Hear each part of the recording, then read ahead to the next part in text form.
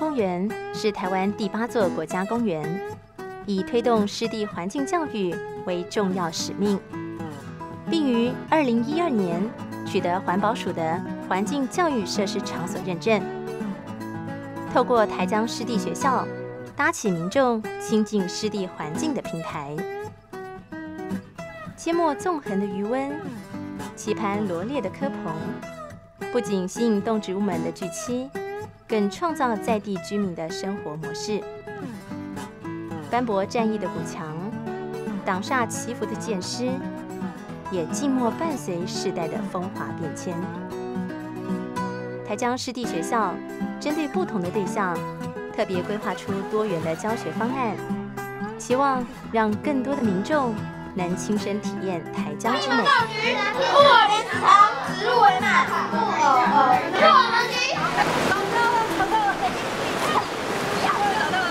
它的那个螯螯上面的锯齿是不是圆圆的？你看它在走路，太公吗？哎，注意看哦，好预备，后脚这样哇哇哇哇哇哇！我们运用多元的教学策略，如亲身体验、动手操作。观察记录、戏剧表演、闯关解题、定向搜寻、议题讨论。因为你的选择一定有代价。环境行动、社区居民现身说法等不同的教学方式，提高参与者学习的乐趣，引领其对环境产生敏感度。从喜爱、了解与感动的过程中，更珍惜我们的环境。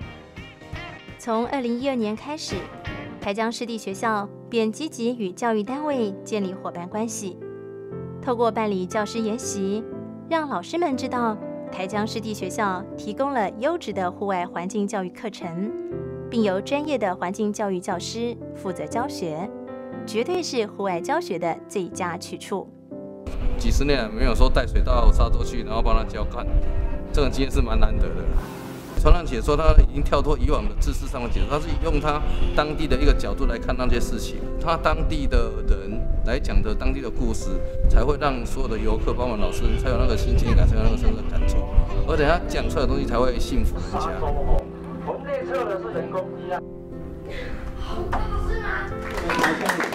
环境教育。除了正规环境教育的学习外，我们更企图让大学生对国家公园的保育与教育的使命有深入的了解。特别办理台江青鸟团，增进彼此的对话平台，提供大学生服务学习的机会，告诉世界的人王仔寮有什么东西。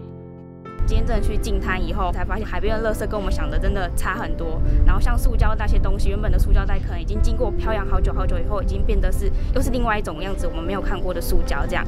所以就觉得其实还有很多事情是我们可以做的。祝你们想象中海德会当。谢谢。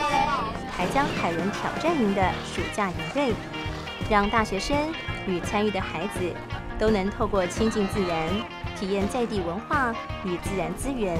进而珍视自己生活的这一块土地。这里看，或许你们是第一次来。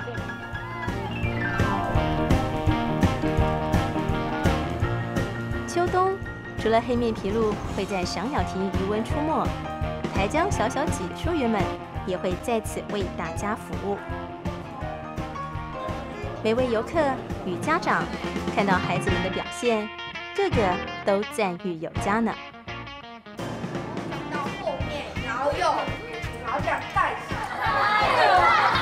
台江湿地学校这一路走来，除了专业的环境教育教师外，还有社区讲师与国家公园环教志工，让课程更贴近真实与多元。诗人叶慈曾经说过：“教育的目的不是注满一桶水，而是要点燃一把火。”台江湿地学校会持续努力，善用台江生态及人文资源，结合创新思维与在地力量，创造优质环境教育场域，传达生态保育理念，并与国际接轨，以达到人与环境的和谐共处。